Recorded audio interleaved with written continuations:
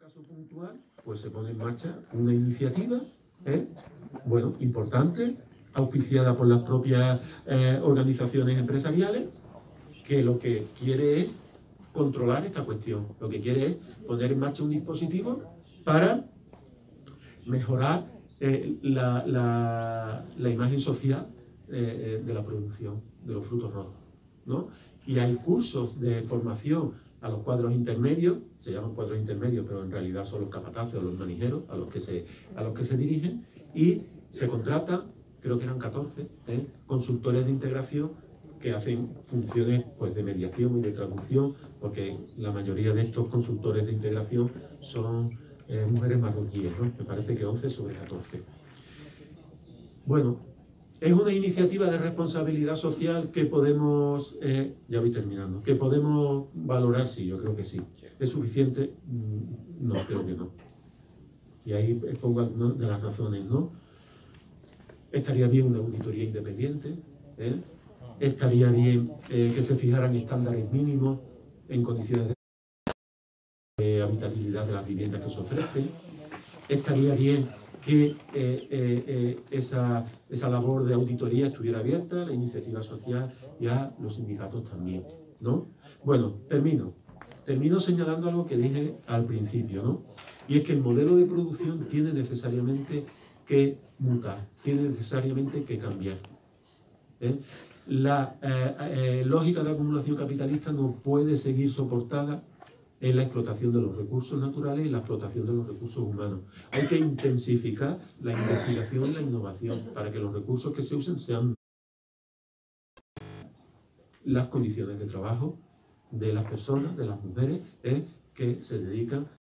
Una casi enmienda a la totalidad a la historia social que venimos a hablar. Y me interesa mucho una, una observación que has hecho, que es lo de la mejora de las condiciones de las trabajadoras especialmente. ¿no? Entonces, eh, si tienes alguna idea en cómo tendría que ser esa mejora, porque realmente las trabajadoras se acogen al mismo convenio colectivo y a las mismas leyes laborales que los trabajadores españoles. Entonces se supone que esas condiciones de explotación no deberían de producirse. Entonces, si se producen y si las tenemos localizadas, ¿en qué sentido sería eso y cuáles serían las propuestas? Lo que me gustaría saber. Pues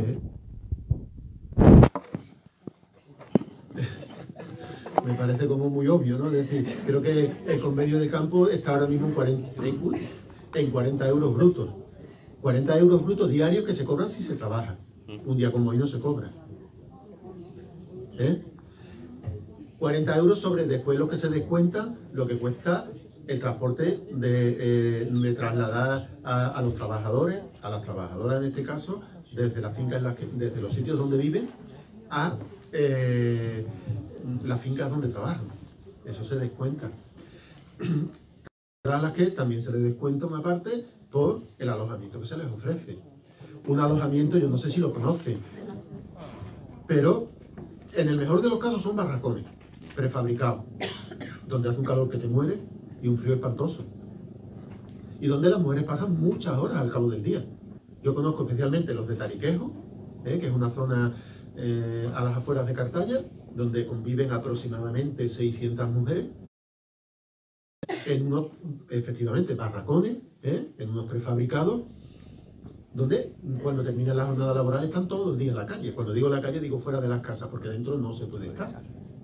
Y donde eh, se ha generado una economía, es que a, a la entrada del recinto donde están las casas, pues hay gente que vende ropa, hay gente que vende alimentos, hay gente que eh, se ofrece para llevar a las mujeres al pueblo a cambio de eh, unos mínimos euros, etcétera, etcétera. Yo creo que eso se puede mejorar también, se podría mejorar.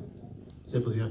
Yo no creo eh, que la provincia de Huelva no haya, no haya un parque de viviendas suficiente para atender a esta, población mm, mm, y haya que alojarla necesariamente en este tipo de habitáculos. No hemos hablado de los asentamientos, porque quizás también tiene que ver con esto. ¿eh? Porque eso sí que son las últimas reservas de mano de obra. ¿eh? Pero bueno, no solo hay que mejorar las condiciones de las mujeres trabajadoras, porque es verdad, hay un colectivo de trabajadores en general, pero sí es verdad que estas mujeres contratadas en origen son como el último eslabón. el eslabón más débil. Porque, no, bueno, la mayoría no sabe leer y escribir, firman unos contratos que no sé si se les explica o no se les explica, eh, a lo mejor sí, yo estoy hablando de más, ¿no? Eh, eh, no sé si conocen sus derechos laborales, no sé si... bueno, no sé, me parece que hay una situación de precariedad importante. A pesar de que ya se, están contentas, ¿eh? que haya salido esa encuesta.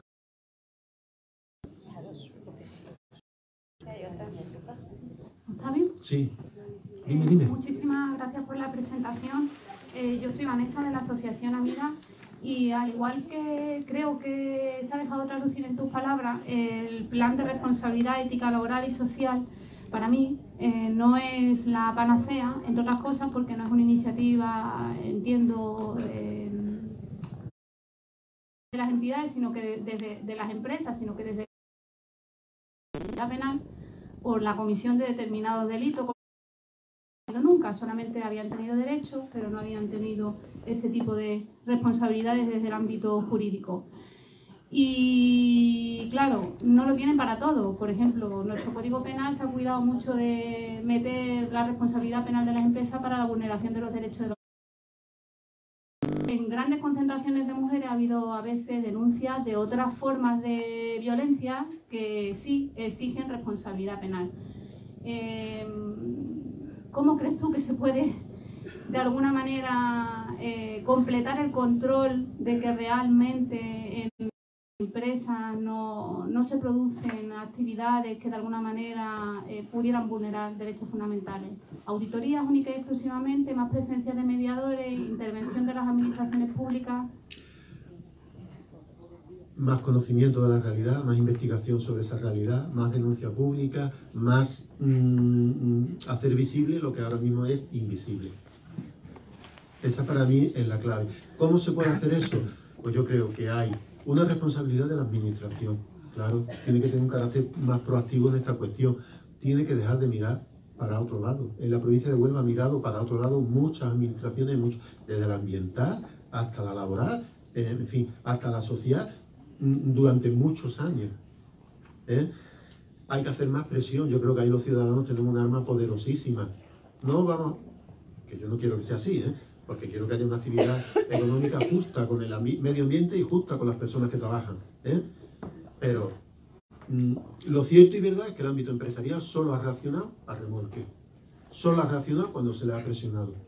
Solo, solo ha cuando se le ha dicho, ustedes están esquilmando Doñana. Y Doñana, Doñana es una palabra sagrada en Europa. ¿eh? Ustedes están atentando contra las condiciones. Y, claro, se pone en marcha este plan, que es una iniciativa de responsabilidad social. Que yo aplaudo, sí, pero creo que es insuficiente. Claro, que se concierte con las entidades sociales, que se concierte con los sindicatos, que sea más transparente, ¿eh? que las auditorías sean ciegas. Cuando digo ciegas, no que la haga una persona contratada por la misma organización empresarial. ¿Eh? Que vaya un inspector o inspectora que no tenga nada que ver. Que haya unos estándares con los que podamos medir. ¿No? Que haya unos estándares con los que podamos medir.